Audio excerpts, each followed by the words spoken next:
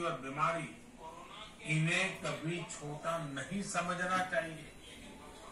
जब तक इनका पूरा इलाज न हो जाए, इन्हें हल्के में नहीं लेना चाहिए। इसलिए याद रखिए, जब तक दवाई नहीं, तब तक ढिलाई नहीं। त्योहारों का समय, हमारे जीवन में खुशियों का समय। उल्लास का समय एक कठिन समय से निकलकर हम आगे बढ़ रहे हैं।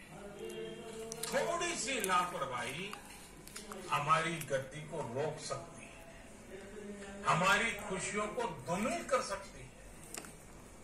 जीवन की जिम्मेदारियों को निभाना और सतर्कता ये दोनों साथ साथ चलेंगे। तभी जीवन में खुशियाँ बनी रहेगी।